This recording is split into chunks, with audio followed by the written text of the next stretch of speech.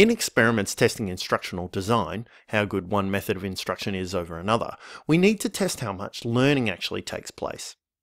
There are two main ways of testing this. The first is a test of recall. Let's imagine we were teaching food chains. We would test a student's prior knowledge, give them the instructional treatment, then test them on their memory of the relationships in the food chain, comparing those results with the first test.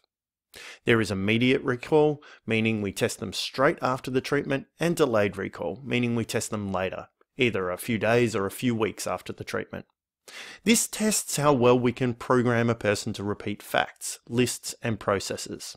This is actually a pretty good test for process learning like tying knots, but not a particularly good test of conceptual learning. A more rigorous test of learning is called transfer.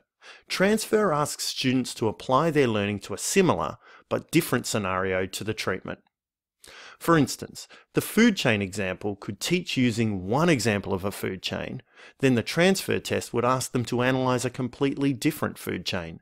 If a student can complete the task, we know they have achieved conceptual change, meaning they get the underlying idea of food chains rather than just remembering facts. We still use immediate and delayed transfer, but now we test understanding, not memory. When you're reading academic journals or even pop psychology online, look to see if the experiment tests recall or the more rigorous transfer.